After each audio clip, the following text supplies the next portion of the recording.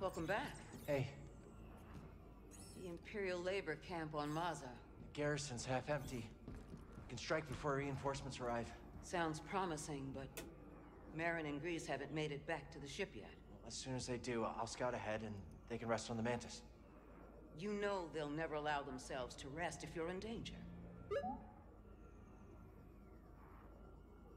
You never give up. And that's what inspires all of us.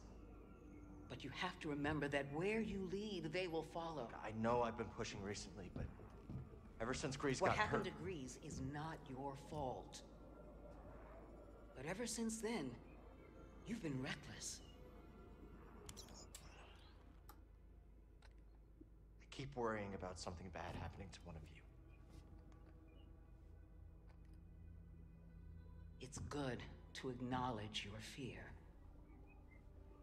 Don't let it determine your path. Focus on the moment. Choose your direction and act with certainty. And trust that, whatever the odds, you'll pull through.